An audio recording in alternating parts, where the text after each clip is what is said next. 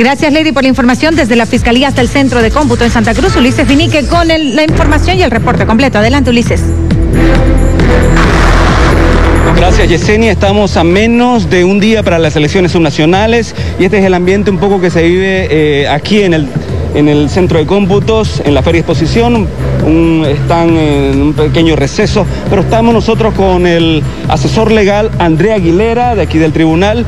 Eh, entendemos ya que mañana ah, o esta tarde se empieza a cerrar ya los tres anillos de circulación cerca de este centro de cómputos. Sí, como está, evidentemente a partir de hoy de las 0 horas empezamos a cerrar tres anillos de control que va a haber cerca del cómputo. Se ha desplegado una fuerza policial interna de 250 oficiales y externa de casi 500 efectivos.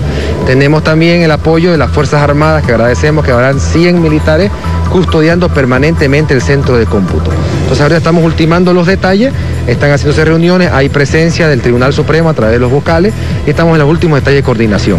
¿A qué es la inauguración? ¿Ya mañana? ¿Quiénes son los invitados? Mañana a partir de las 7 y media de la mañana está la inauguración aquí en el centro de cómputo donde van a estar el comandante departamental de la policía, las Fuerzas Armadas, los miembros de los organismos internacionales. Tenemos el placer de tener el programa de las Naciones Unidas, el cual nos ha apoyado de manera permanente, miembros de la OEA y autoridades locales. ¿Las agrupaciones todas ya están acreditadas? Hoy día se está procediendo a entregar la acreditación de todas las organizaciones políticas a nivel departamental, los mismos delegados en las mesas de cómputo que van a estar presentes desde mañana hasta el último día 14 de marzo en las mesas de juzgamiento de las actas. Las recomendaciones para la gente que pueda ir a votar mañana. Para mañana las recomendaciones, lo principal en el, en el aspecto de la vestimenta, que no vayan con este, poleras de organizaciones políticas, gorras, porque estarían induciendo al voto, que mantengan por favor el tema del barbijo, muy importante, las medidas de bioseguridad para ver el distanciamiento.